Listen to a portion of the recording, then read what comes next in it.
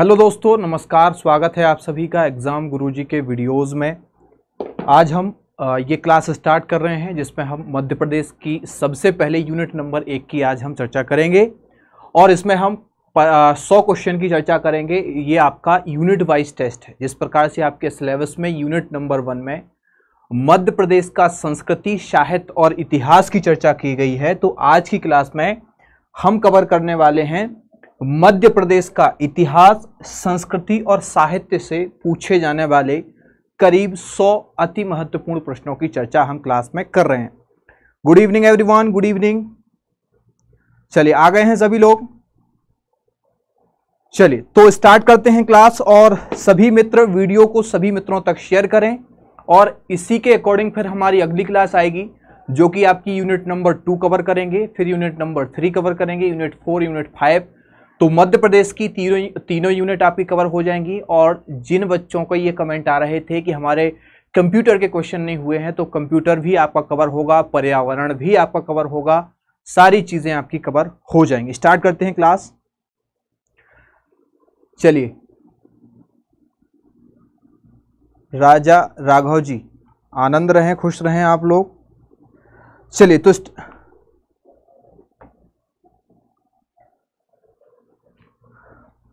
चलिए, पहले नंबर के क्वेश्चन की चर्चा करते हैं। पहले हमारा क्वेश्चन देखिए, सबसे पहले पढ़ लीजिए क्वेश्चन ठीक है? उसके पहले आपको बता दें, थोड़ा सा अपडेट देना चाहेंगे हम कि जो लोग बच्चे बोल रहे थे कि अभी तक जो टेस्ट सीरीज़ है, वो कंप्लीट नहीं हुई है। तो टेस्ट सीरीज़ आपकी पूरी कंप्लीट है और करीब चार से पाँच टेस्ट ऐसे हैं जो अभी ट्रांसलेट नहीं हुए हैं। वो बहुत जल्द हो जाएँगे। दो से तीन दिन के अंदर सारी टेस्ट सीरीज़ ट्रांसलेट होगी। एक एक क्वेश्चन आपका चेक कर लिया गया है। कोई क्वेश्चन उसमें गलत नहीं रहेगा। दो दिन के अंदर कोई क्वेश्चन गलत नहीं रहेगा, पाँच सात टेस्ट और चेक करने बाकी रह गए हैं। तो जिन्होंने अभी तक टेस्ट सीरीज़ ज्वाइन नहीं की है, चार सौ निन्यानवे में अवेलेबल है और दिए गए नंबरों पर आप संपर्क करके टेस्ट सीरीज़ जो है ज्वाइन कर सकते हैं। इसी के साथ हमारा पहला क्वेश्चन स्क्रीन पर है आपकी और आंसर दीजिए। सबसे पहले हमने पूछा है, निम्न में से कौन सा युग्म असंगत है, जो कि उनसे मेल नहीं खाता है? जल्दी से आंसर लगाइए आप लोग। जय हिंद नेहा। सैन साहब, जय हिंद जय हिंद दोस्तों, जय हिंद। सर, पेपर के बाद मत करो।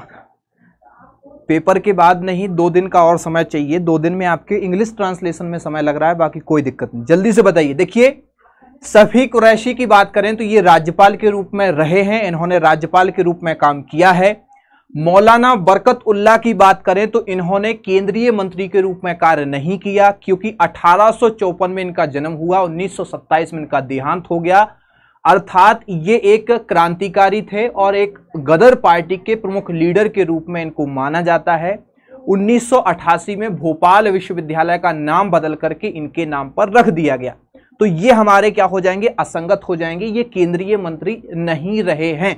बाकी द्वारिका प्रसाद मिश्रा जो थे इन्होंने सराठी नामक पत्रिका का आ, संपादन किया था। उन्नीस में इनकी ये पत्रिका आई थी और असलम शेर खां हॉकी के प्रसिद्ध खिलाड़ी हैं आप लोग समझते ही होंगे। तो अपना आंसर होगा बी नंबर। चलिए आगे बढ़ते हैं और अगला प्रश्न है आपके सामने कि कबीर सम्मान से सम्मानित प्रथम व्यक्ति कौन है? कबीर सम्मान। चूँकि कबीर जो है, जुलाहा प्रजाति के थे, वाराणसी में उनका जन्म हुआ था। इनके सम्मान में मध्य प्रदेश सरकार के संस्कृति मंत्रालय ने उन्नीस सौ पचासी, छियासी में एक क्या किया था? तो एक अच्छा सा पुरस्कार इनके नाम पर दिया जाता है और वो पुरस्कार इसमें से कौन व्यक्ति को नहीं मिला है? शमशेर बहादुर, सॉरी, सबसे पहले किस व्यक्ति को मिला है? प्रश्न ध्यान से पढ़ना, गलत मत कर देना। दिख नहीं रहा है। क्या नहीं दिख रहा है आपको बताइए। अच्छा कबीर सम्मान से सम्मानित प्रथम व्यक्ति कौन थे, ये नहीं दिख रहा था। शमशेर बहादुर, गोपाल कृष्ण, रमाकांत या इनमें से कोई नहीं। तो सबसे पहले थे आपके 1986 सतासी में जब इसकी स्थापना हुई तो 1986 में सबसे पहले गोपाल कृष्ण नाम के व्यक्ति को यह सम्मान जो है दिया गया था। राइट आगे बढ़ते हैं, वीर शंकर शाह रघुनाथ शाह राष्ट्रीय सम्मान के प्रथम प्राप्तकर्ता कौन थे? थोड़ा साइड से खड़े हो जाइए सर। ओके, चलिए। जी हाँ, प्रश्न पूछ के साइड से खड़े हो गए हैं। देखिए, वीर शंकर शाह रघुनाथ शाह राष्ट्रीय सम्मान के प्रथम प्राप्तकर्ता कौन थे? तो 2008 में मध्य प्रदेश सरकार ने आदिवासियों के क्षेत्र में, आदिवासियों की कलाओं के क्षेत्र में, उनके नृत्य, उनकी संस्कृति के बारे में महत्वपूर्ण योगदान देने वाले लोगों को कुछ पुरस्कार देने की घोषणा की थी, जिसमें से एक आपका वीर शंकर शाह, रघुनाथ शाह राष्ट्रीय पुरस्कार है, एक रानी दुर्गावती पुरस्कार था और एक ठक्कर बापा पुरस्कार भी था। बाद में 2010 में एक और पुरस्कार दिया गया, ठीक है? जो आपका एक विष्णु विष्णु शाह के नाम पर दिया जाता है, ठीक है? तो जल्दी से आंसर लगाइए फटाक से। क्या होगा इसमें से? इसमें आपका होगा, कौन सा आंसर? तो इसमें होगा किनकाम, किनफाम सी, नोग किनरह, और ये व्यक्ति मेघालय के थे। इनको सबसे पहले ये सम्मान जो है 2008 में दिया गया। वीडियो की लिंक को सभी मित्रों तक शेयर कर दो ताकि ज़्यादा से ज़्यादा आपके मित्र इस क्लास से जुड़ें और क्लास को देख पाएँ। आगे बढ़ते हैं। मध्य प्रदेश में लता मंगेशकर पुरस्कार की शुरुआत कब हुई? प्रश्न ऐसा है, लता मंगेशकर पुरस्कार की शुरुआत कब हुई? ध्यान दीजिए, लता मंगेशकर पुरस्कार सिर्फ़ एकमात्र ऐसा पुरस्कार है जो किसी जीवित व्यक्ति के नाम पर दिया जाता है। और ये किनकर नाम पे दिया जाता है? स्वर सम्राग्री लता मंगेशकर जी के नाम पे दिया जाता है और उन्नीस सौ चौरासी से ये लगातार पुरस्कार क्या हुआ है? तो दिया जा रहा है। नवंबर उन्नीस सौ चौरासी में इसकी स्थापना की गई थी। चलिए, दिलीप चौधरी जी, आंसर लगाते चलिए। सी नंबर लगाया वेरी गुड मध्य प्रदेश की वीरांगना रानी दुर्गावती राष्ट्रीय सम्मान प्राप्त करने वाली प्रथम प्राप्तकर्ता कौन है? ये भी जैसे शंकर शाह रघुनाथ शाह पुरस्कार जो है, आदिवासियों के क्षेत्र में 2008 से स्टार्ट हुआ। उसी समय ये पुरस्कार भी स्टार्ट हुआ था, उसी समय टंटैया भील पुरस्कार भी स्टार्ट हुआ था, ठीक है? ठक्कर बापा भी स्टार्ट हुआ। उसी के साथ ये पुरस्कार भी स्टार्ट हुआ था रानी दुर्गावती जी के नाम पे। तो सबसे पहले किनको दिया गया तो इसमें है आपकी रोज केर केटा राइट आंसर क्या हो जाएगा? रोज केर केटा चलिए आगे बढ़ते हैं। और अगला प्रश्न है, महात्मा गांधी राष्ट्रीय सम्मान की स्थापना कब की गई? मध्य प्रदेश सरकार का सबसे ज़्यादा जो पुरस्कार सबसे ज़्यादा राशि वाला पुरस्कार 10 लाख रुपए की राशि वाला पुरस्कार है। बाकी जो हम आदिवासियों की क्षेत्रों में जिनकी बात कर रहे थे, वो आपके कौन कौन थे? तो वो ठक्कर बापा पुरस्कार हो, या रानी दुर्गावती हो, या शंकर शाह पुरस्कार हो, सब में एक एक लाख रुपए दिए जाते हैं। जबकि जो टंटैया भील पुरस्कार है, ये आपका आदिवासी आदिवासियों की संस्कृति के संबंध में किसी अन्य व्यक्ति को नहीं दिया जाता है। टंटैया भील पुरस्कार केवल आदिवासी लोगों के ऐसे युवा व्यक्ति को दिया जाता है जिसने अपनी समाज के लिए कुछ काम किया हो। उसमें एक लाख रुपए जो है दिए जाते हैं। महात्मा गांधी पुरस्कार वर्ष उन्नीस सौ छियानवे से स्टार्ट हुआ है। दस लाख की राशि वाला मध्य प्रदेश का सबसे बड़ा पुरस्कार है, याद रखिएगा। आगे बढ़ते हैं। गजानन माधव मुक्तिबोध गजानन माधव मुक्तिबोध फेलोशिप किस क्षेत्र में प्रदान की जाती है? तो गजानन माधव मुक्तिबोध कौन व्यक्ति थे और इन्होंने क्या काम किया है? यदि आपको पता होगा तो आप ज़रूर लगा पाएँगे। इनके नाम पर मध्य प्रदेश सरकार में एक पीठ भी स्थापित है। किस विश्वविद्यालय में है, वो भी आप कमेंट करके आंसर दीजिए। सर, आप क्वेश्चन बोलकर एक साइड जी हाँ, मैं क्वेश्चन बोल के एक साइड खड़े हो जाता हूँ। तो गजानन माधव मुक्तिबोध फेलोशिप जो है, गजानन माधव मुक्तिबोध के नाम से दी जाती है। इन्होंने साहित्य के क्षेत्र में योगदान दिया है। और आपने इनकी रचना एक बहुत ही प्रसिद्ध है, चाँद का मुँह टेढ़ा। ज़रूर देखी होगी। आगे बढ़ते हैं। अगला क्वेश्चन है, महात्मा गांधी सम्मान सर्वप्रथम किसे प्रदान किया गया था? तो ये जो महात्मा गांधी सम्मान है, उन्नीस सौ में स्थापित होने के बाद सबसे पहले किसे दिया गया था? तो ये कस्तूरबा गांधी स्मारक ट्रस्ट, जो कि इंदौर में मौजूद है, उस संस्था को ये जो है सम्मान दिया गया था।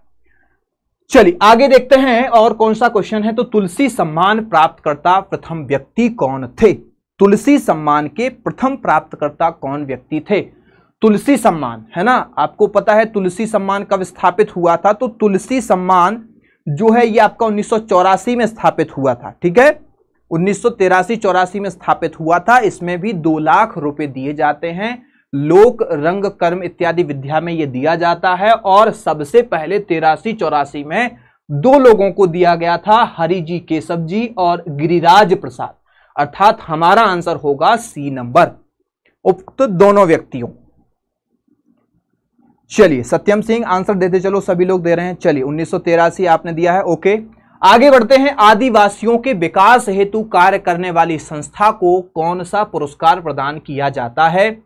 तो आदिवासियों के विकास के लिए तुलसी सम्मान, कबीर सम्मान, रानी दुर्गावती सम्मान और भवभूति अलंकरण, चार में से कौन दिया जाता है? तो आदिवासियों के क्षेत्र में याद रखना है, दुर्गावती सम्मान, वीर शंकर साहब पुरस्कार और ठक्कर बापा और टंटैया भील, ये चार पुरस्कार स्पेशली याद रखना, मध्य प्रदेश से संबंधित तो रानी दुर्गावती आपका दिया जाता है। बुंदेला विद्रोह के दौरान अंग्रेज़ों का साथ देने वाले रतन सिंह किस रियासत के राजा थे? जल्दी से बताइए रतन सिंह, जो कि अपने चाचा से बड़े नाराज़ रहा करते थे क्योंकि उनके चाचा ने इनकी रियासत का विरोध किया था और अपना दायित्व बनाया था, अपना अधिकार जताया था इनकी रियासत पर। और इनके चाचा कहाँ के थे? जैतपुर रियासत के राजा परीक्षित जो थे, इनके चाचा थे। और ये आपके जो रतन सिंह जी हैं, ये आपके चरखारी रियासत के राजा थे। याद रखना, इनकी जागीर नहीं थी, इनकी जागीर मूलता नहीं थी, इनको गोद लिया गया था। राइट चरखारी रियासत की स्थापना जो है, ये किस व्यक्ति के द्वारा की गई थी? तो चरखारी रियासत की स्थापना किस व्यक्ति के द्वारा की गई थी? आप लोगों के आंसर सी आ रहे हैं। और ध्यान दीजिए, सी नंबर पे जगत प्रताप बिल्कुल भी आपका सॉरी जगत राज आपका आंसर होना चाहिए था। ठीक है? जगत राज, जगत प्रताप मत लगा दीजिएगा। जगत राज उनका आंसर है। जगत राज के द्वारा चरखारी रियासत की स्थापना की गई थी। रुद्र प्रताप नहीं इसमें हो सकता, क्योंकि रुद्र प्रताप तो टीकमगढ़ की स्थापना की थी और ओरछा की स्थापना की, और वीर प्रताप नहीं, वीर सिंह जो देव हैं, वीर प्रताप जो रिलेटेड हैं, वो आपके बघेलखंड से रिलेटेड हैं।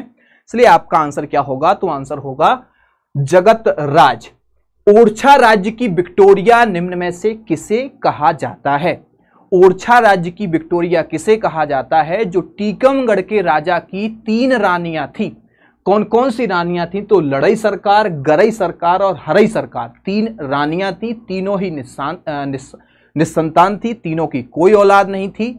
जब वहाँ के राजा ने अपने भतीजी को या अपने वंशज को गोद लेना चाहा तो इनमें से आपकी जो लड़ाई रानी थी, लड़ाई सरकार थी, इन्होंने विद्रोह कर दिया और बुंदेला विद्रोह के समय अंग्रेज़ों का भरपूर सहयोग किया।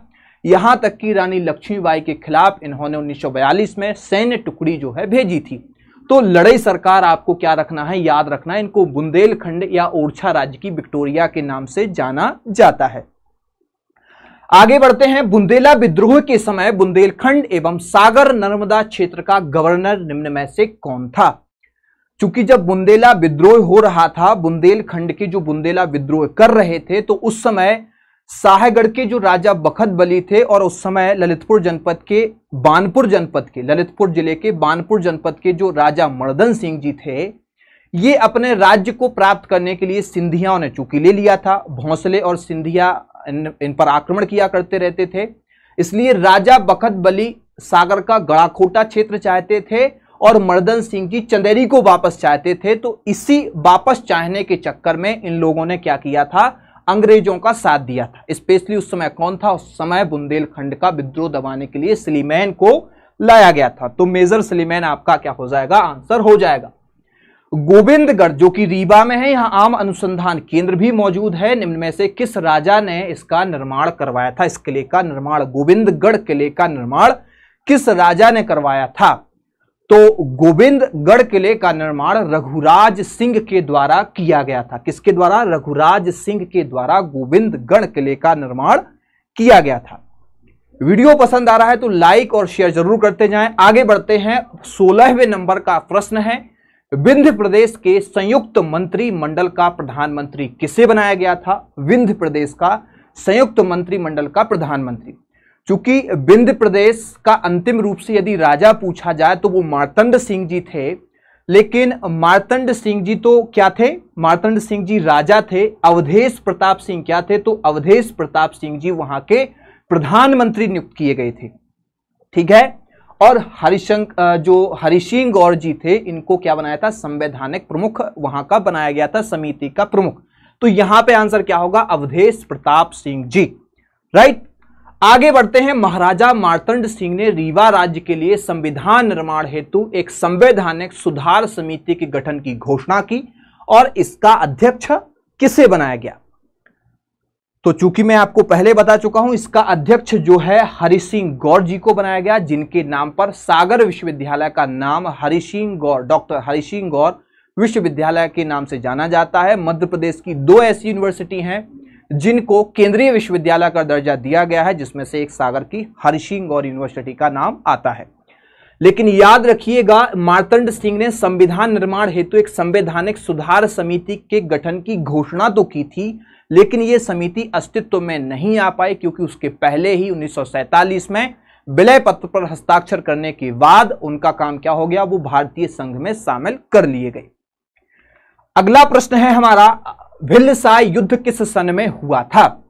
भिल्लसाई जो युद्ध है, ये भीलों का, हमारे भारत के स्वतंत्रता संग्राम में योगदान का, योगदान की बात है, ये आप लोग देखते हैं।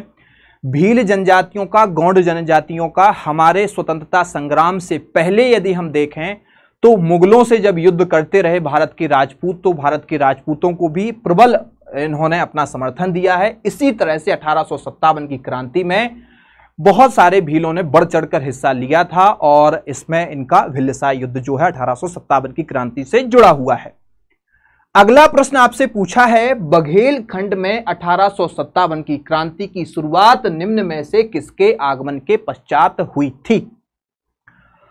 बघेलखंड, जो कि रीवा का जो क्षेत्र है ना, वो वघेलखंड कहलाता है और वघेलखंड में अठारह की क्रांति की शुरुआत तब तक नहीं हुई जब तक कि जगदीशपुर बिहार में जिन्होंने कूच किया था या क्रांति का नेतृत्व किया था, कुंवर सिंह ने वो बिहार से चलते चलते और विद्रोह करते करते अपनी सेना को लेकर के और बघेलखंड तक नहीं आ गए, तब तक बघेलखंड में कोई सुगबुगाहट नहीं थी। जैसे ही कुंवर सिंह आए, वहाँ के बघेलखंड के राजाओं ने भी विद्रोह कर दिया।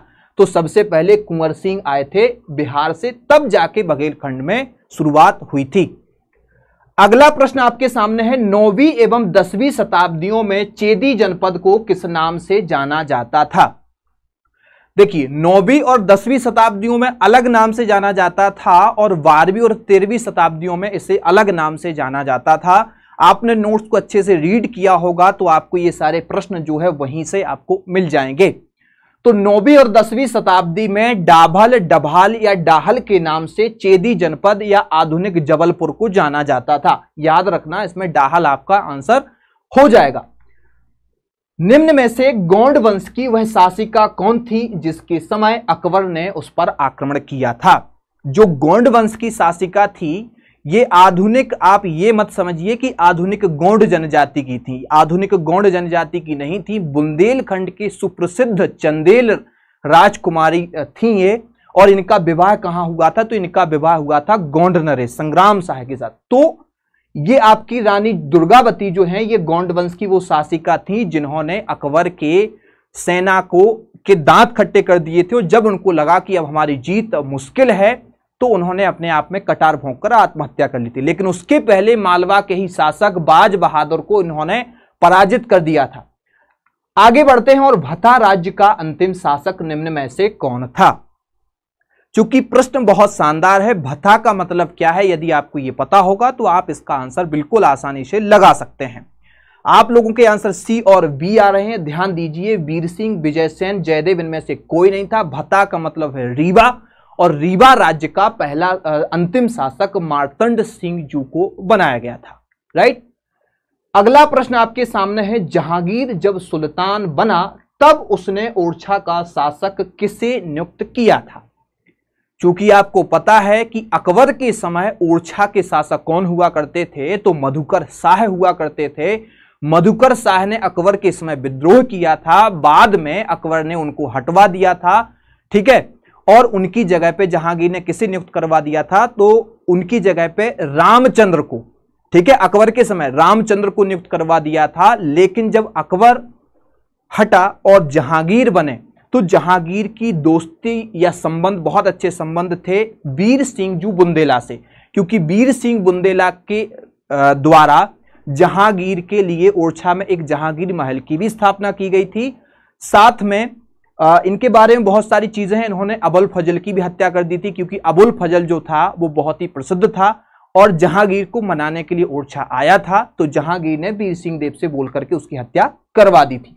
तो जहांगीर जब सुल्तान बना था, उसने वीर सिंह देव को यहाँ का शासक बनाया था और वहाँ के रामचंद्र को हटा करके चंदेरी का शासक बना दिया था।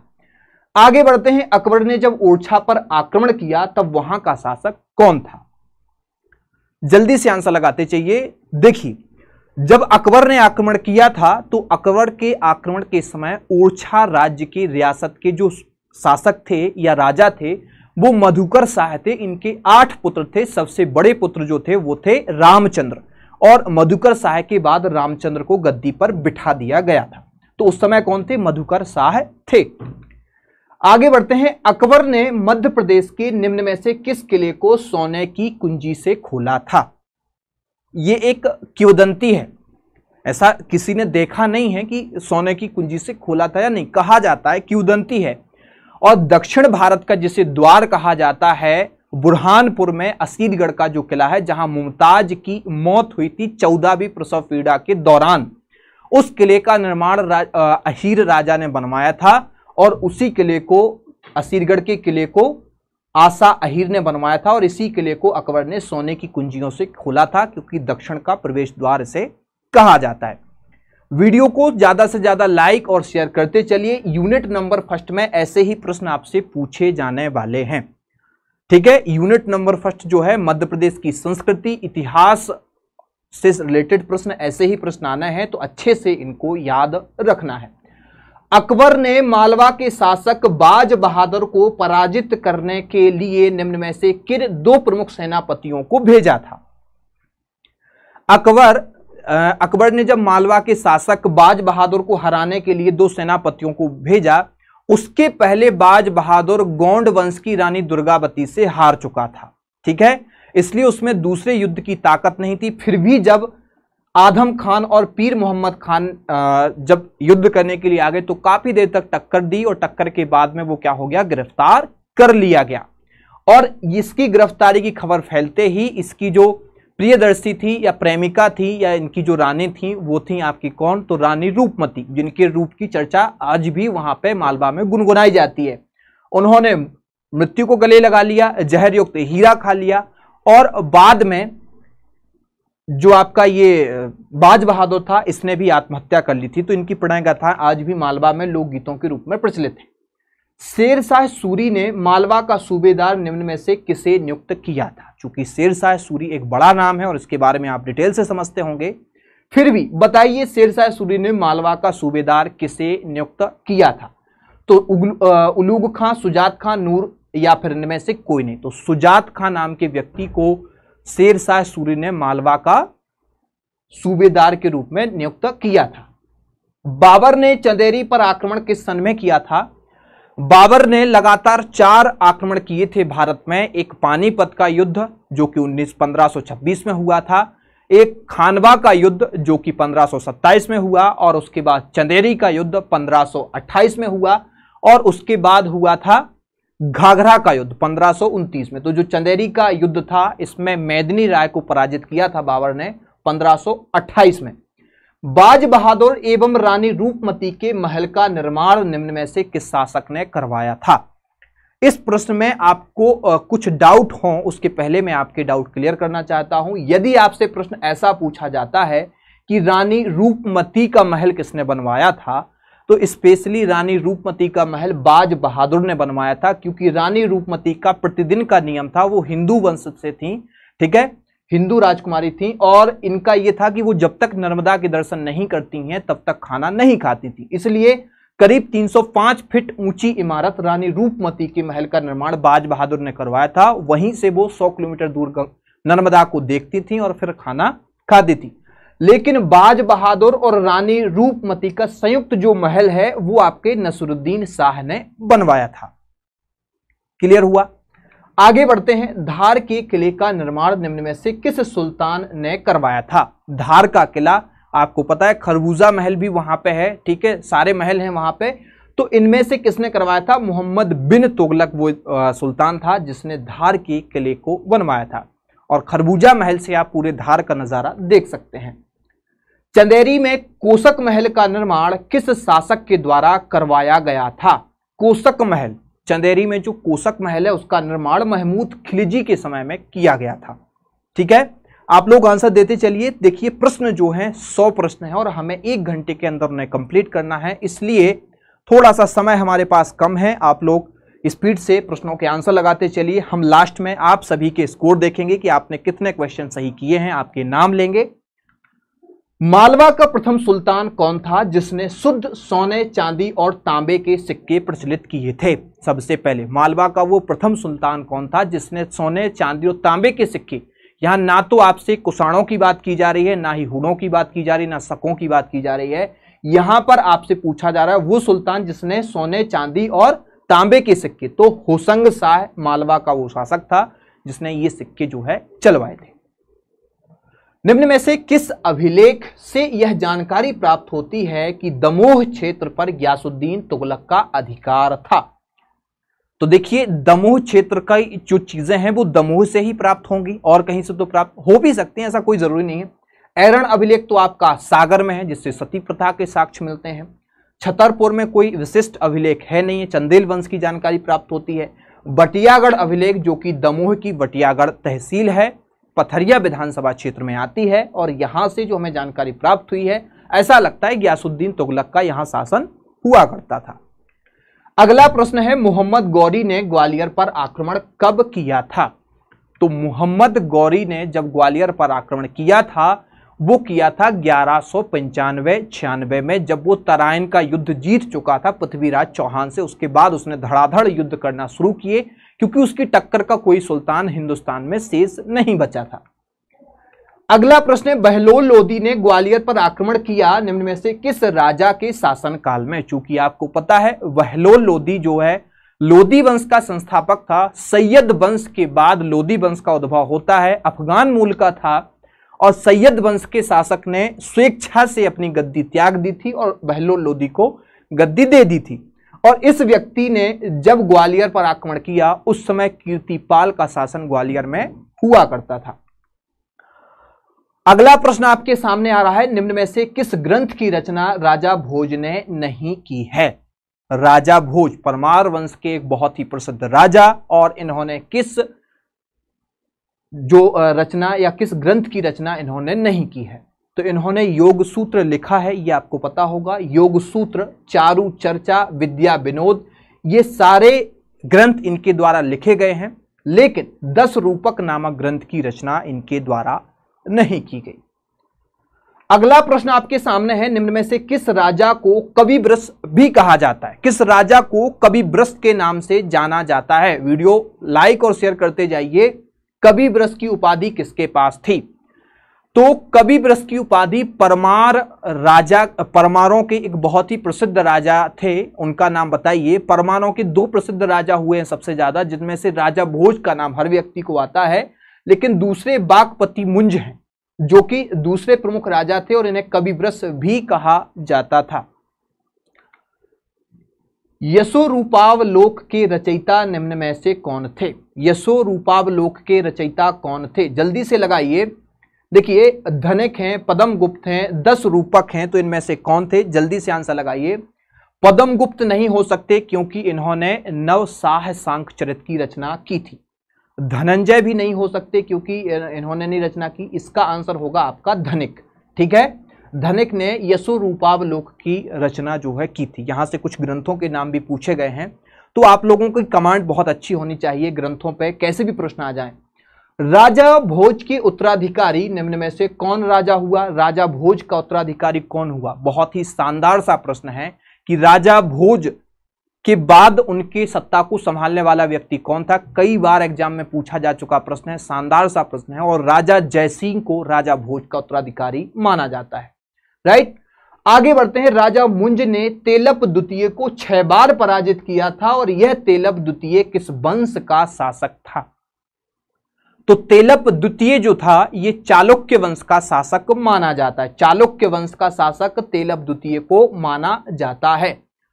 बागपति मुंज निम्न में से किस वंश का राजा था? बिल्कुल सिंपल सा प्रश्न है, मैं आपको बता चुका हूँ। दो राजा थे प्रमुख, एक तो भोज, राजा भोज और दूसरे थे बागपति मुंज। ये दोनों ही राजा पवार वंश के थे, मालवा पर इनका शासन था। और इन्हीं के नाम पर भोपाल, भोजताल से भोपाल हुआ है। भोपाल का संस्थापक भी माना जाता है। प्राचीन का।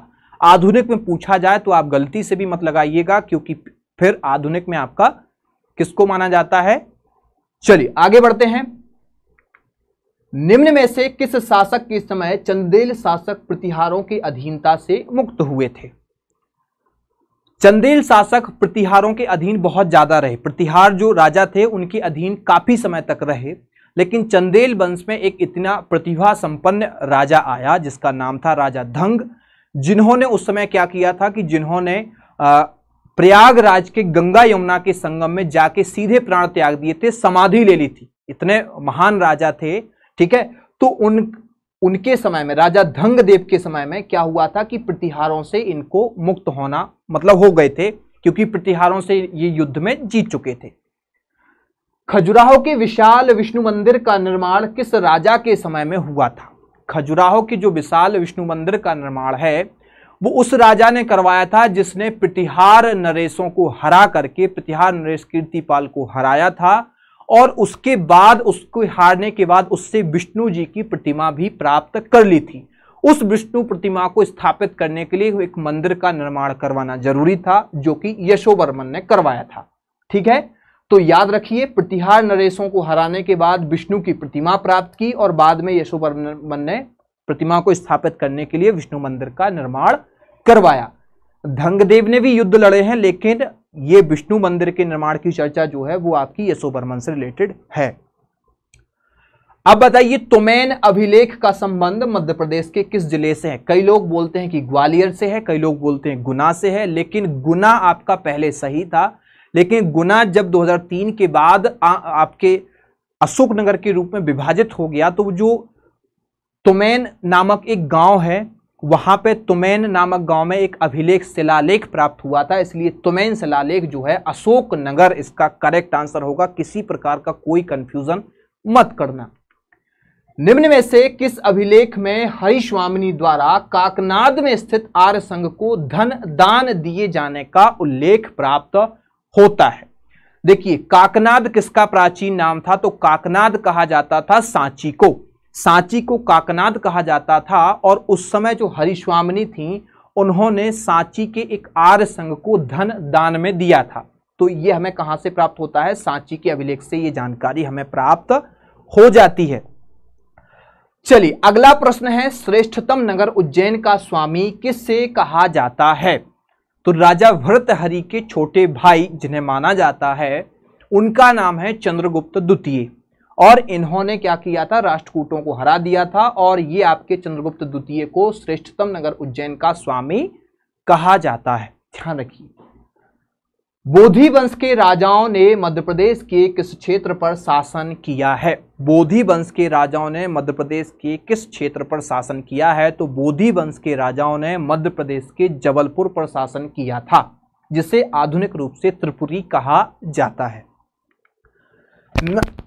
नागवंश का जो उदय है, नागवंश का। चलिए जल्दी से बताइए, पहले आप तक आवाज़ आ रही है मेरी?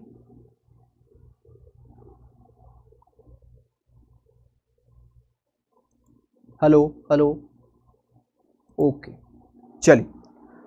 तो देखिए, नागवंश का उदय मध्य प्रदेश के किन दो जिलों के मध्य माना जाता है? तो नागवंश का उदय, नागवंश जो था ये आपका कहाँ से फैला था? तो ये विदिशा से लेकर उत्तर प्रदेश के मथुरा तक फैला था। इस बीच में मध्य प्रदेश का कौन सा प्रमुख जिला आता है? तो विदिशा से आप ग्वालियर इसका आंसर होगा, ठीक है? क्योंकि इनका नागवंश का शासन कहाँ से? विदिशा से लेकर ग्वालियर तक फैला था। तो इसमें मध्य प्रदेश के विदिशा से ग्वालियर तक, सॉरी, मथुरा तक फैला था। तो मध्य प्रदेश का ग्वालियर और विदिशा का हिस्सा इसमें मुख्यतः आता है। छहरात वंश का सबसे शक्तिशाली शासक निम्न में से कौन था? छहरात वंश का सबसे शक्तिशाली शक्तिशाली शासक वो था जिसने करीब नौ से ज़्यादा युद्ध जीते हैं।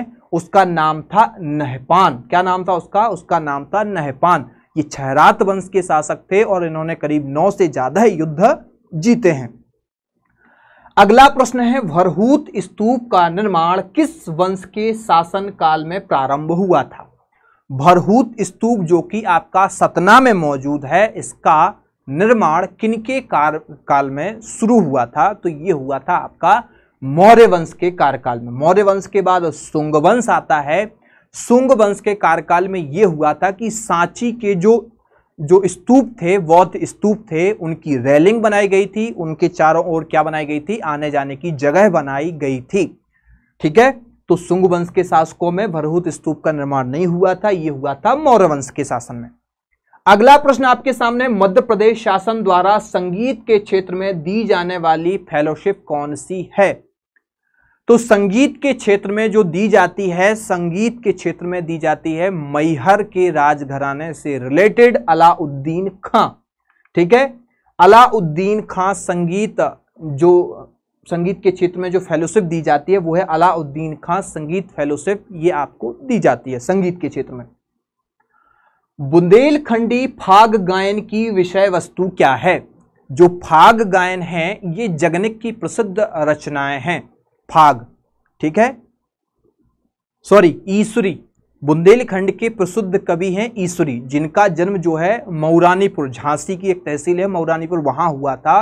इन्होंने राधा और कृष्ण की आपसी जो वार्तालाप है, उनको फाग गायन के रूप में प्रस्तुत किया है और ये बुंदेलखंड के साथ साथ बघेलखंड में भी प्रचलित है। कौन सा लोकनृत्य मध्य प्रदेश का नहीं है? तो कर्मा लोक नृत्य जो कि जनजातियों के द्वारा किया जाता है, कर्मा। बिहू नृत्य, जो कि असम का प्रसिद्ध नृत्य है। भगोरिया आपकी भील जनजाति का नृत्य है। भगोरिया हाट लगता है अभी, होली के अवसर पर लगता है झाबुआ में। राई बुंदेलखंड का प्रमुख लोक नृत्य है। तो जो बिहू है, वो हमारे मध्य प्रदेश का नहीं है भाई साहब, वो असम का है राइट चलिए, आप लोगों के आंसर थोड़ा सा देखते चलें कि आप लोग बी लगा रहे थे, बिल्कुल करेक्ट लगा रहे थे। ऐसे ही आप लोग आंसर देते चलिए। लास्ट में आप अपना बताएँगे कि 100 प्रश्न में से आपने कितने सही किए हैं। इस चीज़ से यह हो जाएगा कि यूनिट नंबर वन पर आपकी पकड़ कितनी अच्छी है। भारत भवन का डिज़ाइन किसने बनाया था? तो चार्ल्स कोरियर वो था जिसने भारत भवन का डिज़ाइन बनाया था। बिल्कुल सिंपल सा क्वेश्चन है, कई बार एग्ज़ाम में आ चुका है। मध्य प्रदेश साहित्य परिषद की स्थापना। तो मध्य प्रदेश साहित्य परिषद की स्थापना जो है, वो कहाँ हुई थी? भोपाल में हुई थी और 1954 में हुई थी। उन्नीस सौ चौवन में ये स्थापना जो है, हुई थी। निम्न में से कौन सा जिला काष्ठ कलाकृतियों के लिए जाना जाता है? काष्ठ कला।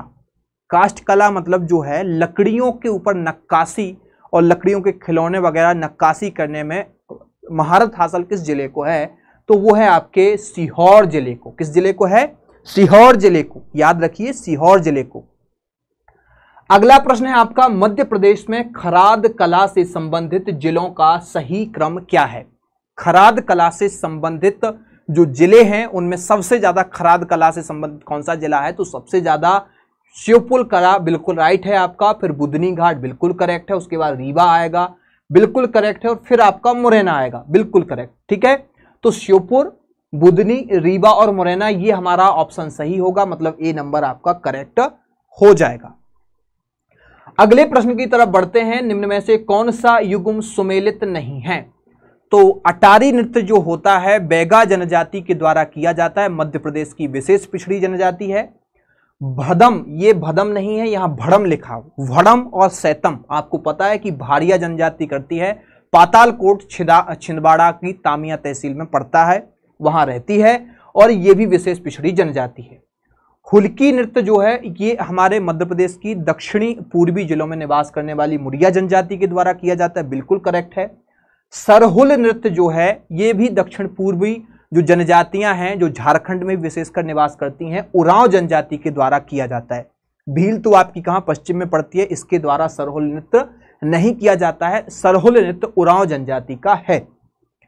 अगला प्रश्न है, छठी चित्र का चित्रांकन मध्य प्रदेश के किस अंचल में किया जाता है?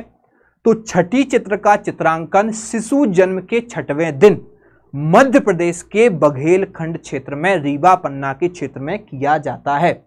राइट अगला प्रश्न है, पगल्या चित्र मध्य प्रदेश के किस अंचल में बनाया जाता है? और पगल्या के चित्रकार का नाम भी आप लोग कमेंट करके बता सकते हैं। क्या है? कंदरिया महादेव। अच्छा कंदरिया महादेव वाले प्रश्न में आपको डाउट है। चलिए। पगल्या चित्र जो है, ये मध्य प्रदेश के किस अंचल में बनता है? तो पगल्या जो चित्र है, वो आपके बुंदेलखंड, बघेलखंड, मालवा, निमाड़ में से पगल्या चित्र भी आपके सॉरी पगल्या आपके निमाड़ क्षेत्र में बनाया जाता है। ध्यान रखना, पगल्या निमाड़ में बनता है, बघेलखंड में नहीं बनता। अगला प्रश्न है, तिलंगा चित्र मध्य प्रदेश के किस अंचल में बनाए जाते हैं? तिलंग जो चित्र है, वो आपके तिल्ली के तेल में कोयले को मथ करके, कोयले को घोल करके तिल्ली के तेल में और तिलंगा चित्र बनाए जाते हैं, विशेष अवसरों पर, खुशी के अवसरों पर, वो बघेल खंड में बनाए जाते हैं। चलिए, अगला प्रश्न आपके सामने आ रहा है, चित्रावण चित्रकला मध्य प्रदेश के किस अंचल की है? चित्रावण चित्रकला जो है, ये किस अंचल की है? ये विशेषकर चितेरे जनजाति के द्वारा बनाई जाती है। चितेरे जनजाति के द्वारा चित्रावण चित्रकला बनाई जाती है, चित्र बनाए जाते हैं और ये मालवा में विशेषकर प्रचलित है। जिरौती चित्रकला मध्य प्रदेश के किस अंचल की है? जिरौती चित्रकला, यहाँ ध्यान दीजिए, जिरौती पूछा है, नॉट सिरौती। सुरेती पूछा जाए तो वो आपका आंसर बुंदेलखंड होगा और जिरौती पूछा जाए तो निमाड़ में बनाई जाती है। ज़मीन पर चित्रांकन किया जाता है, कोई भी त्योहार वगैरह होता है, खुशी के अवसर पर बनाए जाते हैं। सुरेती चित्रकला, दिवाली पर आपने देखा होगा, ऐसे ऐसे बना करके, ऐसे गोलखंड, नौ खंड, सोलह खंड, अठारह खंड, अट्ठाईस खंड की जो चित्रकला बनती है, वो आपके बुंदेलखंड में बनती है, सुरेती कहा जाता है। ठीक है, अगला प्रश्न। किस जनजाति का प्रसिद्ध नृत्य दहका नृत्य है? दहका। तो दहका नृत्य कौन सी जनजाति करती है? प्रश्न देखिए कितने सुपरहिट प्रश्न हैं। और इन प्रश्नों के आप लोग आंसर लगाते चलिए और बताते चलिए आपके प्रश्न कितने सही हुए हैं, मैं आपसे बात करूँगा। तो जो दहका नृत्य है कोल जनजाति के द्वारा किया जाता है। कोल जनजाति जो है दहका नृत्य करती है। बिल्मा बिल्मा जो नृत्य है, बिल्मा नृत्य ये बैगा जनजाति के द्वारा किया जाता है। बैगा बहुत सारे नृत्य करते हैं, बिल्मा नृत्य करते हैं परधौनी नृत्य भी करते हैं। जब उनकी लड़कियों की बारात आती है तो बारात का स्वागत करने के लिए परधौनी नृत्य भी करते हैं राइट तो बिल्मा नृत्य आपके बैगा करते हैं। जगदेव के पुवारा का गायन मध्य प्रदेश के किस अंचल में होता है? जगदेव का पुवारा। ध्यान दीजिए, जगदेव का पुवारा क्या है? जब आपने देखा होगा, फ़सल कटाई के अवसर पर, फ़सल कटाई के अवसर पर हमेशा किसी भी क्षेत्र में हमेशा क्या मनाए जाते हैं? खुशी मनाई जाती है। तो उसी खुशी के उपहार में, बुंदेलखंड क्षेत्र में जो वो रहते हैं, आपके जवा रहते हैं या गेहूँ रहते हैं, उनको बो दिया जाता है। जैसे कजली तीज भी बोलते हैं, उस टाइप के ऐसे जवा बो दी जाते हैं, उनकी फ़सल को लेकर के, सर पर रख करके नाचते हैं और देवी भजन गाते हैं, गीत गाते हैं, उन्हीं को बोलते हैं जगदेव का पुवारा, बुंदेलखंड से प्रचलित है। बरसाती वार्ता का गायन मध्य प्रदेश के किस अंचल में होता है तो बरसाती वार्ता का गायन बरसात की अगवानी में या बरसात की खुशी में मालवा क्षेत्र में विशेषकर प्रचलन में है, मालवा में यह गायन गाया जाता है। हीड़ गायन कहाँ पे होता है तो हीड़ गायन ये आपके मालवा के साथ साथ थोड़ा बहुत मालवा में और निमाण में भी चलता है। ठीक है? तो मालवा में और निमाड़ में भी चलता है, लेकिन निमाड़ में थोड़ा कम और मालवा में थोड़ा ज़्यादा तो स्पेशली आप मालवा में हीड गायन लगा के आएँगे। संत सिंगाजी गायन मध्य प्रदेश के किस अंचल में होता है? संत सिंगाजी को क्या माना जाता था? तो संत सिंगाजी बहुत बड़े संत थे, और सांप का जहर इनके लिए कोई मायने नहीं रखता था। किसी भी व्यक्ति की मृत्यु सांप के जहर से नहीं हो सकती थी। तो ये आपके निमाड़ के बहुत प्रसिद्ध संत थे राइट मेघनाथ पर्व कौन सी जनजाति मनाती है? तो मेघनाथ किस जनजाति के सबसे उच्च देवता हैं? लगभग फाल्गुन मास में ये लोग मेघनाथ पर्व मनाते हैं। तो ये हैं आपके गौंड जनजाति के। गौंड जनजाति के सबसे बड़े देवता हैं मेघनाथ। मेघनाथ की लोग पूजा करते हैं उनका एक पर्व मनाते हैं। किस पर्व पर सुअर की बलि दी जाती है? तो याद रखिएगा, सुअर की बलि जो है, ये दी जाती है लारू काजा पर्व पर। जनजातियाँ ये नृत्य करती हैं, जनजातियाँ ये त्यौहार मनाती हैं। पहले तो लारू काजा पे सुअर का विवाह किया जाता है, ठीक है? सुअर का विवाह करवाया जाता है और सुअर की बलि भी दी जाती है। तो लारू काजा जो है, आपका सुअर बलि से रिलेटेड है, ठीक है? अगला प्रश्न है, बुंदेलखंड की अविवाहित लड़कियाँ कौन सा पर्व मनाती हैं?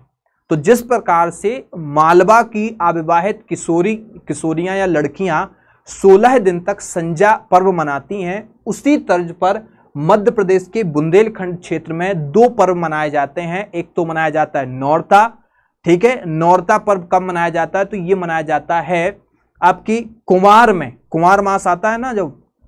उस समय नौरता मनाया जाता है जब देवी रखती देवी जी रखी होती हैं, देवी जी की मूर्तियाँ रखी होती हैं। नवरात्रि के समय मनाया जाता है और मामूलिया भी उसी समय मनाया जाता है। तो संजा और मामूलिया एक जैसा है, मामूलिया बुंदेलखंड में और संजा चलता है आपका कहाँ? तो मालवा में। और इनमें भी क्या होता है, किशोरियाँ अपना सोलह दिन तक, पंद्रह दिन तक ये काम करती रहती हैं, मनाती हैं। आगे प्रश्न है, निम्न कथनों में से कौन सा कथन सत्य है? चरण पादुका मेला दमोह में लिखता, लगता है, बिल्कुल गलत, क्योंकि ये आपके छतरपुर ज़िले के नौगांव तहसील में लगता है चरण पादुका नामक स्थान पर।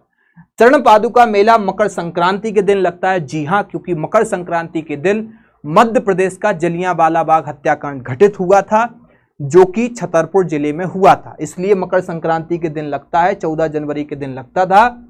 इस मेले को जल बिहार मेला कहते हैं। गलत जल बिहार मेला अलग लगता है छतरपुर में, और ये मेला अलग लगता है। फिसर नामक वहाँ के कर्नल ने क्या कर दिया था? गोलियों का आदेश दिया था, जिस कारण से बहुत सारे स्वतंत्रता सेनानियों की मौत हो गई थी। अगला प्रश्न है आपके सामने निम्न युग्मों में से कौन सा युग्म सुमेलित नहीं है? काना बाबा का मेला कहाँ लगता है? तो काना बाबा का मेला होशंगाबाद में लगता है, बिल्कुल करेक्ट।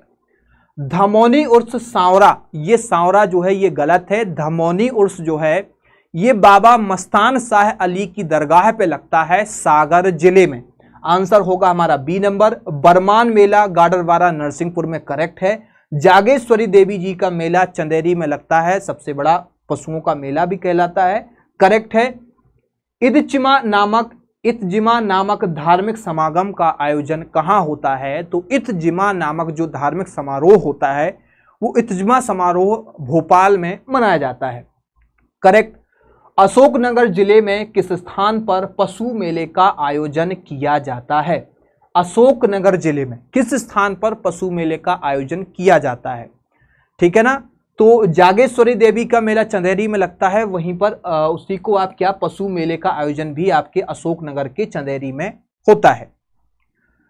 अगले प्रश्न की तरफ़ बढ़ते हैं। भगोरिया उत्सव का आयोजन किस लिए होता है? किस लिए पूछा है? कहाँ नहीं? भगोरिया उत्सव कहाँ होता है? झाबुआ में होता है। भील जनजाति का प्रसिद्ध नृत्य है। और इस मेले में युवक और युवतियाँ आते हैं और इसका मुख्य उद्देश्य ये है कि इस मेले में युवक, युवतियाँ एक दूसरे को जाने, पहचाने और कोई युवक किसी युवती को पान खिलाता है और वो आसानी से पान खा लेती है तो रजामंदी मानी जाती है, उसके बाद वो वहाँ से भाग जाते हैं, फिर उनकी पंचायत में उनको पेश होना पड़ता है, उनका शादी या विवाह जो है कर दिया जाता है। या फिर पान की जगह गुलाल लगाने का भी रिवाज है, दोनों ही रिवाज यहाँ पर प्रचलित हैं। तो ये आपके जीवन साथी के चयन के लिए होता है। रतनवा त्योहार मुख्यतः कौन सी जनजाति का है? तो रतनवा त्योहार जो है, ये आपका बैगा जनजाति का प्रसिद्ध त्योहार है। बैगा जनजाति का प्रसिद्ध त्योहार है रतनवा त्योहार। यहाँ से 20 प्रश्नों की यात्रा और हमारी शेष है तो बने रहिए आप लोग और लास्ट में मुझे ये ज़रूर बताइए कि आपने कितने प्रश्न जो है सही किए हैं। अगला प्रश्न है, वह त्योहार जिसमें सर्वाधिक बाल विवाह होते हैं। सबसे ज़्यादा बाल विवाह किस पे होते हैं? तो देखिए आखा तीज नीरजा, घड़लिया, दशहरा, ठीक है? दशहरा पे तो विवाह होते नहीं है। घड़लिया पर्व जो होता है, वो ऐसा होता है कि जब किशोरियाँ, जब नौरता, मामूलिया, संजा जैसे कार्यक्रम नौ दिन तक, सत्रह दिन तक करती हैं, उसके बाद में एक वो बड़ा सा घड़ा रख लेती हैं अपने सर पर, उसमें छेद कर लेती हैं, उसमें दीपक रख लेती हैं और घर घर जाके पैसे या अनाज एकत्रित करती हैं। वो घड़ा लिया उसमें विवाह का कोई मतलब नहीं है। ठीक है, इसी प्रकार नीरजा, आखा तीज जो है, इसको कई जगह पे क्या कहा जाता है? तो इसे अक्षय तृतीया भी कहा जाता है और आखा तीज के दिन सबसे ज़्यादा बाल विवाह होते हैं। किशोरियाँ बरगद के पेड़ को पूजने के लिए जाती हैं इस समय। अगला है हमारा प्रश्न, निम्न रचना व रचनाकारों से संबद्ध नहीं है। सतपुड़ा के घने जंगल। ठीक है? तो सतपुड़ा के घने जंगल भवानी प्रसाद मिश्र हिम तरंगनी माखनलाल चतुर्वेदी, त्रिधारा, पद्माकर, ये थोड़ा सा यहाँ स्पेस देना था, त्रिधारा, पद्माकर और काशी, बालकृष्ण शर्मा नवीन। तो ये काशी जो है, बालकृष्ण शर्मा नवीन की नहीं है सॉरी त्रिधारा, पद्माकर की रचना नहीं है। इन रचनाओं को ध्यान से देखिए, सतपुड़ा के घने जंगल तो आपने पढ़ा होगा, सतपुड़ा के घने जंगल, ऊंगते अनमने जंगल घुस ना पाए हवा जिसमें, ठीक है? तो ये आपके किसके भवानी प्रसाद मिश्रा के हिम तरंगड़ी माखनलाल के प्रसिद्ध। ये दो तो पता है। त्रिधारा पद्माकर की नहीं है। सागर के थे पद्माकर और इनकी ये रचना नहीं है। ठीक है? अगला प्रश्न है, निम्न में से कौन सी रचना माखनलाल चतुर्वेदी की नहीं है? ठीक है? कौन सी रचना माखनलाल चतुर्वेदी की नहीं है? और माखनलाल चतुर्वेदी को राष्ट्रीय कवि कहा जाता है। हिमक्रीटनी इनकी प्रसिद्ध रचना है। हिम तरंगड़ी अभी हम बात कर रहे थे। युग चरण ये तीनों तो हैं। मुकुल इनकी रचना नहीं है। आपका आंसर क्या होगा? मुकुल इनकी रचना नहीं है। अगला प्रश्न है, निम्न में से कौन सी रचना पद्माकर की नहीं है? कौन सी रचना पद्माकर की नहीं है? तो इसमें से जगत विनोद, राम रसायन, गंगा लहरी और प्रबोध साठा। तो देखिए, पद्माकर, जो कि सागर के थे और इनकी रचना जगत विनोद, राम रसायन, गंगा लहरी, तीनों ही रचनाएँ इन्हीं की हैं, लेकिन प्रबोध साठा जो रचना है, वो इनकी नहीं है। अगले प्रश्न की तरफ़ बढ़ते हैं। माखनलाल चतुर्वेदी का जन्म किस स्थान पर हुआ था? तो माखनलाल चतुर्वेदी का जन्मभूमि और कर्मभूमि में काफ़ी डिफरेंस है। इनकी जन्मभूमि जो है, ये बाबई, होशंगाबाद में पड़ती है। बाबई, वहाँ पे इनका जन्म हुआ। लेकिन कर्म भूमि इनका रहा है क्या? तो कर्म भूमि रहा है इनका खंडवा। निम्न में से भवभूति की रचना कौन सी है? तो भवभूति की रचना महावीर चरित मालती माधव उत्तर रामचरित। तीनों ही रचनाएँ उत्तर रामचरित को पहला नाटक माना जाता है या हरिशंकर प्रसाई ने माना है। तो ये तीनों ही इन्हीं की रचनाएँ हैं। अगले प्रश्न की तरफ़ बढ़ रहे हैं हम, रानी नागफनी की कहानी। रानी नागफनी की कहानी तो पूरे बहुत जगह विख्यात है मतलब भारत में तो है ही है, अन्य देशों के लोग भी पढ़ते हैं। रानी नागफनी की कहानी ये किसकी है? हरिशंकर परसाई की प्रसिद्ध रचना है। अगला प्रश्न है, मध्य प्रदेश में सर्वाधिक बोली जाने वाली भाषा कौन सी है? कौन सी है बोली जाने वाली? भाषा नहीं सॉरी बोली। बोली। भाषा और बोली में डिफरेंस है। भाषा में साहित्य भी होता है, इसका क्षेत्र भी विस्तृत होता है। बुंदेलखंडी, ब्रज कौरबी और मालवी। मालवी, मालवा में ही बोली जाती है। कौरवी तो बोली ही नहीं जाती। यदि आपसे प्रश्न पूछा जाए कि कौन सी नहीं बोली जाती है तो कौरवी तो बोली ही नहीं जाती है। व्रज ये ब्रज बोली जाती है कहाँ पे? केवल और केवल भिंड, मुरैना, ग्वालियर। तीन जिलों में, बाकी नहीं बोली जाती। बुंदेलखंडी का क्षेत्र जो है विस्तृत है। जबलपुर सागर से लेकर के पूरा बुंदेलखंड का एरिया आ जाता है और यहाँ तक कि पूर्वोत्तर में बालाघाट तक में भी ये बोली बोली जाती है। अगला प्रश्न आपके सामने है। मध्य प्रदेश में सर्वाधिक, सॉरी, निम्न में से किस ज़िले में ब्रज भाषा नहीं बोली जाती है? तो ब्रज भाषा कहाँ की है? मथुरा की है भाषा, ब्रज भाषा तो। तो मथुरा से हमारे लगे हुए जो क्षेत्र पड़ते हैं या प्रभाव पड़ता है, भिंड, मुरैना, ग्वालियर पर पड़ता है। टीकमगढ़ पर नहीं पड़ता है, टीकमगढ़ ठेठ बुंदेलखंड का क्षेत्र है। यहाँ पे प्योर बुंदेलखंडी देखने को आपको मिल जाती है। 89 नंबर है, मध्य प्रदेश की मुख्य बोलियों में से कौन सी शामिल नहीं है? मध्य प्रदेश की मुख्य बोली कौन सी है? बुंदेली तो सबसे बड़ी बोली है। बघेली भी हमारे यहाँ बघेलखंड में बोली जाती है, निमाड़ी, निमाड़ में बोली जाती है, मालवी, मालवा में बोली जाती है, लेकिन भोजपुरी तो बोली जाती है बिहार में, ठीक है? हमारे मध्य प्रदेश में भोजपुरी नहीं बोली जाती है। आप ऐसा दिमाग मत लगाना कि कहीं कोई बिहार का दो चार व्यक्ति रहते हों और वो भोजपुरी बोल दें तो आप बोलें कि यहाँ भी बोली जाती है। वो बिहार की भाषा है, हमारे यहाँ उसकी कोई भी ज़्यादा नहीं चलती है वो। चलिए, यहाँ से 10 प्रश्नों को हम पढ़ रहे हैं और 10 प्रश्नों के बाद हम आपका स्कोर जानने की कोशिश करेंगे। आपने कितने क्वेश्चन सही किए हैं? उर्मिला किसकी रचना है? जल्दी से बताइए, उर्मिला किसकी रचना है? तो उर्मिला है आपके वाल कृष्ण शर्मा नवीन की रचना है। किसकी है? वाल कृष्ण शर्मा नवीन की रचना है उर्मिला, और चकित है दुख। चकित है दुख। हरिशंकर प्रसाई की बहुत अच्छी रचना है ये। सॉरी भवानी प्रसाद मिश्र की। किसकी रचना है? भवानी प्रसाद मिश्र की है, चकित है दो गजानन माधव मुक्तिबोध की रचना का नाम बताइए।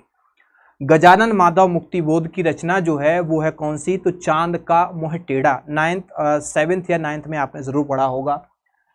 तो चाँद का मोह टेढ़ा, गजानन माधव मुक्तिबोध की रचना है। मालती माधव, अभी हम चर्चा कर रहे थे, भवभूति की रचना है मालती माधव, ये हम प्रश्न देख चुके हैं। मध्य प्रदेश में कौन सी बोली नहीं बोली जाती है? कौन सी नहीं बोली जाती है तो मैं आपको मालवी, बुंदेलखंडी, गोंडी बोली जाती है, लेकिन कौरवी नहीं बोली जाती है। गोंड जनजाति जो बालाघाट, मंडला, छिंदवाड़ा में निवास करती है, वो स्पेशली गोंड भाषा बोलती है। वहाँ पे गोंड चलती है, थोड़ी बहुत वहाँ पे बुंदेलखंडी भी चलती है। तो यहाँ पे कौरवी जो है, ये आपकी भाषा नहीं बोली जाती है, ये यूपी की भाषा है।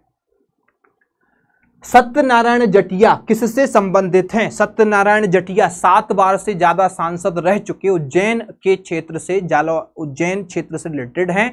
और सात बार से ज़्यादा ये सांसद भी रह चुके हैं। भारतीय जनता पार्टी में ये शामिल है। 1980 में पहली बार इन्होंने लोकसभा का चुनाव लड़ा था और तब से ये इन्होंने सात बार सांसद के रूप में कार्य किया है। तो मध्य प्रदेश की बड़ी विभूति हैं। राज्यसभा सांसद के रूप में भी कार्य कर चुके हैं। लेकिन यहाँ पे आपको आंसर देना है तो राष्ट्रीय मजदूर मोर्चा से ये जुड़े रहे हैं।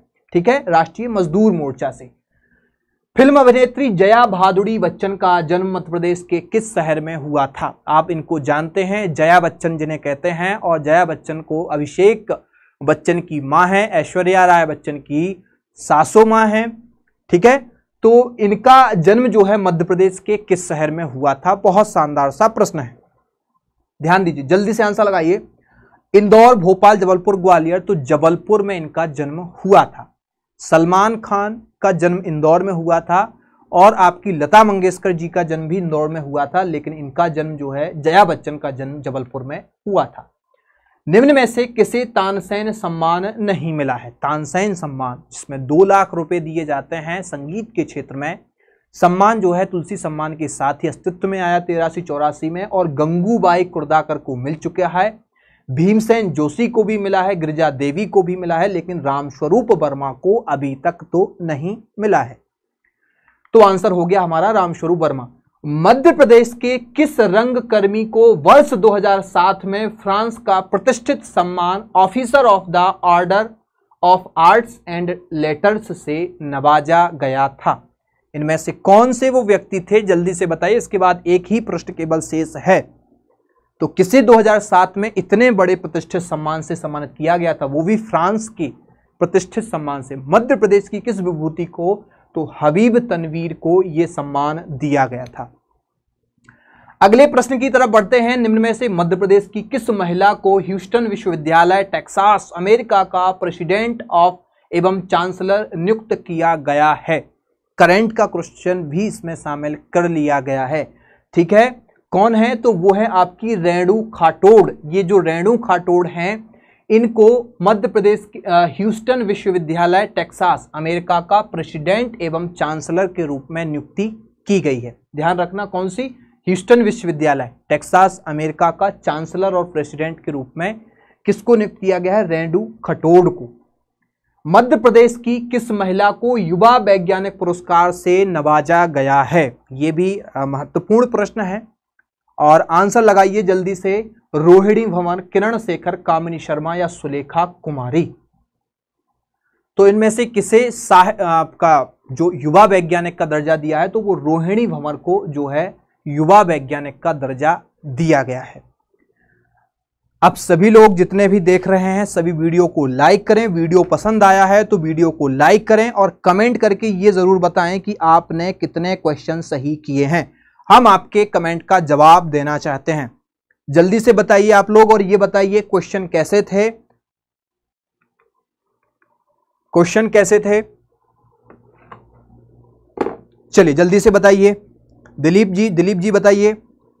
रिया चतुर्वेदी, संजीव हैं। रविंद्र माली हैं, अजय सिंह हैं, काफ़ी लोग हैं। तो जल्दी से आप लोग बताइए क्वेश्चन कैसे लगे हैं आपको? आपने स्कोर कितना किया है? क्लास कैसी रही? आप की तैयारी कितनी अच्छी है कितने क्वेश्चन आपके सही हुए हैं सारी जानकारी आपको टाइप करके आ, कमेंट बॉक्स में लिखना है। जब हमारी क्लास जो है अपलोड हो जाए उसके बाद आप कमेंट करके हमें बता सकते हैं। बहुत शानदार क्लास रही। थैंक यू थैंक यू चलिए पीडीएफ आपको उपलब्ध करवाएँगे बहुत जल्द उपलब्ध करवाएँगे। एक से दो दिन का भी समय नहीं लगेगा। मैं यहाँ बोल रहा हूँ आपको कि पीडीएफ आपको तुरंत ही उपलब्ध हो जाएगी। चलिए तो अब हम आपसे मिलते हैं आपसे नेक्स्ट क्लास में और नेक्स्ट क्लास में हम क्या पढ़ेंगे ये भी हम आपको बता देते हैं।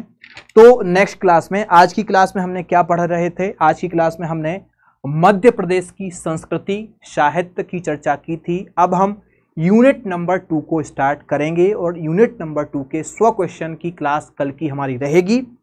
और उन स्व क्वेश्चन में आपको तैयारी करके आना है। यूनिट नंबर टू को एक बार रिवाइज कर लेना है। फिर वो सौ क्वेश्चन आपको लगाना है, आप कितने क्वेश्चन सही कर पा रहे हैं, उस हिसाब से आपका बहत्तर, आपका सालिनी विदुआ ने बहत्तर क्वेश्चन सही किए हैं सालिनी ने बहत्तर क्वेश्चन सही किए हैं। हंड्रेड में से दस आपके गलत हुए हैं रानी जाटव के। हंड्रेड में से हंड्रेड, रानी जाटव के हंड्रेड में से हंड्रेड हैं। चलिए कल छह बजे से क्लास होगी कंटिन्यू क्लास छह बजे से चलने वाली है। दसों यूनिट हम आपके कवर करवाने वाले हैं। तो यूनिट नंबर आज हमने कवर की है। इस वीडियो को सभी मित्रों तक शेयर कर दो, ताकि कल की क्लास में सभी मित्र आपके उपस्थित हो सकें। और हमारी क्लास जो है छह बजे से सात बजे, साढ़े सात बजे तक चलेगी। छह बजे से सात बजे तक हमने एक घंटे में शो क्वेश्चन कवर किए हैं। बहुत ही शानदार क्लास रही है। चलिए, मिलते हैं आपसे कल की क्लास में यूनिट नंबर टू के साथ। वीडियो पसंद आया है तो सभी मित्रों तक शेयर करें, लाइक करें और कमेंट करके बताएँ क्वेश्चन कैसे लगी। जय हिंद, जय भारत।